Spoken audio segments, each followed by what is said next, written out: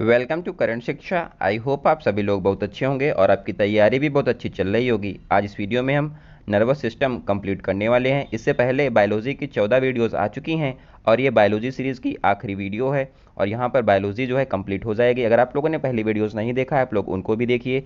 यहाँ पर हम आपको शॉर्ट नोट्स के माध्यम से पूरा जीएस कंप्लीट करा रहे हैं। अगर आप लोगों ने अभी तक चैनल को सब्सक्राइब नहीं किया, चैनल को सब्सक्राइब कर लें। इसके पीडीएफ के लिए आप लोग टेलीग्राम को ज्वाइन कर लें। वहाँ पर इसका पीडीएफ आप लोगों को मिल जाएगा। आइए आज की शुरुआत करते हैं।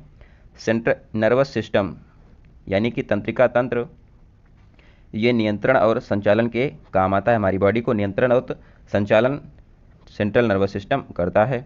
इसकी यूनिट को न्यूरॉन कहा जाता है और इसमें रीजनरेशन पावर नहीं होती, यानी कि ये दोबारा रीजनरेट नहीं कर सकता है। न्यूरॉन जो होता है, ये मानव में सबसे लंबी कोशिका होती है, न्यूरॉन।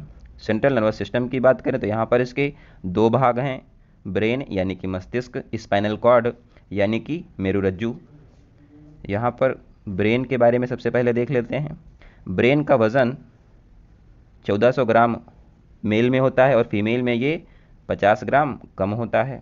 यहाँ पर हमारा ब्रेन दिया हुआ है, इसके कुछ भाग हैं। अग्र भाग, यहाँ पर फ्रंट इसको कहते हैं। मिड भाग, यानी कि मध्य भाग, यहाँ पर होता है। क्रेनियल कपाल जिसको कहा जाता है, और ये हमारे मस्तिष्क को सुरक्षा प्रोवाइड करता है।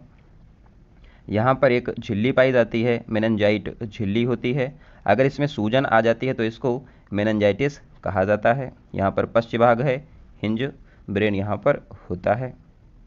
नेक्स्ट है ब्रेन के यहाँ पर तीन पार्ट दिए हुए हैं। अग्र यानी कि फोर ब्रेन मध्य यानी कि मिड ब्रेन और यहाँ पर पश्च, यहाँ पर हिंड ब्रेन इसको कहते हैं।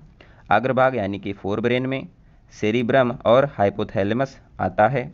सेरिब्रम 67 परसेंट सेरिब्रम होता है और ये सबसे बड़ा भाग होता है हमारे मस्तिष्क का। सेरिब्रम से हम यादाश्त जो हमारी होती है इसको रख पाते हैं। मेमोरी रखने के लिए काम यही आता है।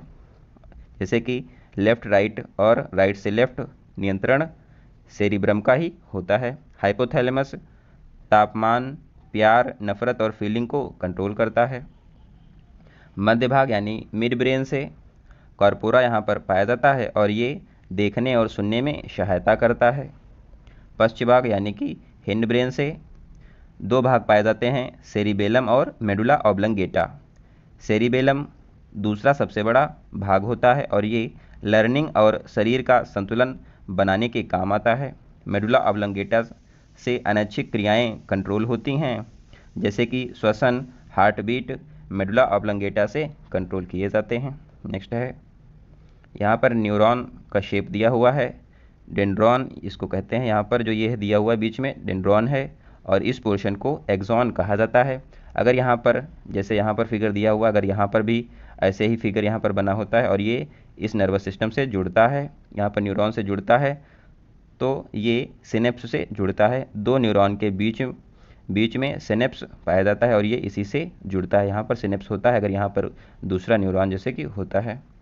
नेक्स्ट है स्पाइनल कॉर्ड स्पाइनल कॉर्ड में इकतीस जोड़ी न्यूरॉन्स पाए जाते हैं और ये रिफ्लेक्स एक्शन यानी कि तुरंत एक्शन को कंट्रोल करता है स्पाइनल कॉर्ड जैसे कि गर्म चाय चुभना, जैसे कि चुभ जाता है तो यहाँ पर रिफ्लेक्स एक्शन होता है और ये स्पाइनल कॉर्ड के द्वारा कंट्रोल किया जाता है।